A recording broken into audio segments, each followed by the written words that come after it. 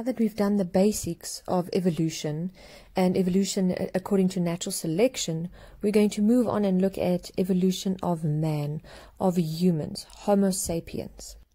The chapter is called Hominid Studies, and this is because hominid studies is the area, a field of study that tries to determine the origin of modern man. As I said, Homo sapiens, which is our genus and species name. Now, the classification of humans and human ancestors and the fossils that they find within hominid study is based on three parts or three bits of evidence. The first is called archaeology, the next is called paleontology, and the next is called anthropology. And you can see these three definitions here. Archaeologists study human artifacts and human remains. Paleontologists will study fossils to discover the evolutionary history of the planet and organisms on the planet, while anthropologists will study human cultures, their languages, societies, and artifacts. Many of Egypt's most famous monuments, such as the Sphinx and pyramids and so on, contain hundreds and thousands of marine fossils. So these fossils are intact and preserved in the walls of the pyramids. So paleontologists, anthropologists, and archaeologists will work together when they look at a pyramid to, to figure out what went on at that time in history. Hominid study includes the studies of hominids and hominins. Now, the spelling is important here because hominids, the word with a D in, will include humans, great apes, and extinct bipedal human ancestors, while hominins with an N only include humans and our bipedal ancestors. Now, the classification of hominids um, is a big area of debate. So if you look at this this flow chart, it's a family pedigree of the evolution of man, but it's one of those. Now you'll note there it says don't learn it, only understand it. So if you get given a diagram like this in an exam, you just need to be able to interpret what's going on here. So if we read it, we're going to read it from the top to the bottom. If we start looking where the blue arrow is, we can see that um, the line goes down and then splits into two. Now that blue arrow there represents the common ancestor of monkeys, apes, and modern humans. And as we studied um, and we looked at allopatric speciation, we realized that a single ancestral population splits into two. And according to this diagram, monkeys and gibbons that have tails is one area in which one species in which um, this ancestral group um, evolved into, and then modern humans and apes is the other group. Humans and apes um, evolved from an ape like creature. So, an ancestral population group that had certain traits that were more ape like and some that had hum- were more human like.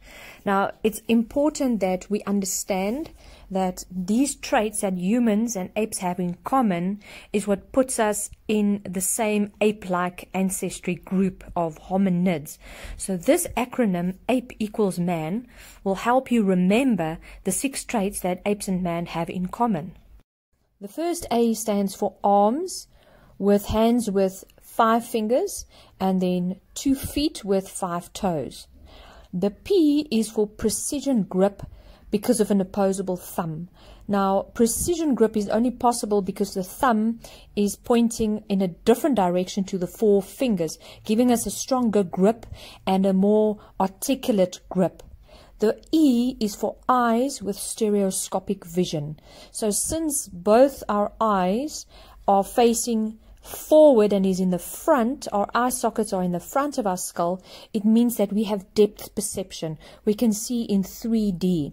You can try and cover your one eye with an eye patch and then walk up and down a staircase and you'll quickly see, oops, you can't judge how far the stairs are, how, how uh, the distance that you need to put your foot down. The M is for molars and premolars with rounded cusps. Now the molars and premolars are the back big teeth in your mouth and in humans and in apes these have rounded edges in, instead of sharp edges like you do in other herbivores. The second A is for the ability to see color, and then the N is for having no tail. So if you look at this slide again, um, you can see that although we said humans have evolved from an ape-like ancestor, on this, uh, in this text box, the shaded one, we can actually see all the big swear word names of the intermediate species on this human evolution journey. So the Australopithecus is the oldest or uh, furthest back species, and then as time goes past, we end up with Homo sapiens and Homo neanderthalensis, which is the most recent species.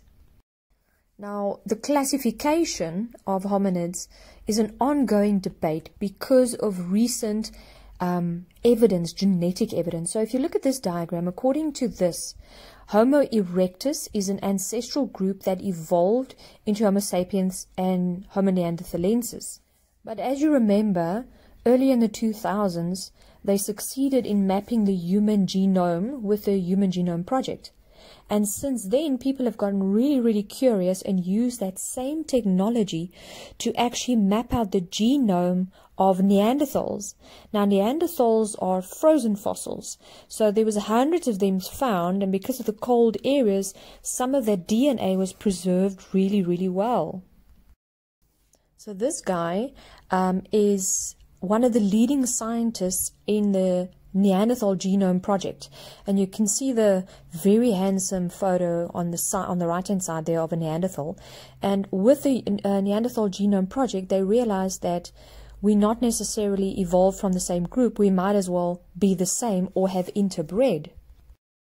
Sadly, that the Neanderthal DNA that was found or is available in the fossils are not 100% complete.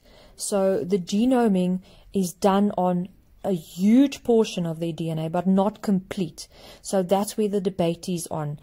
Some scientists are saying they are completely human or so very close related, while others says no, no, no. The bit of information that is missing makes us two complete different species, and the debate is going to go on because no one was there to know the facts.